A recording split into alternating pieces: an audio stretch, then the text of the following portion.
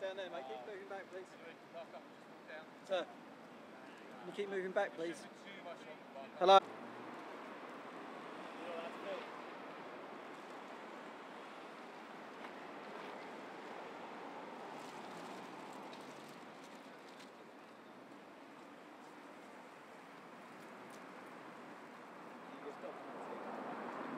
Sorry.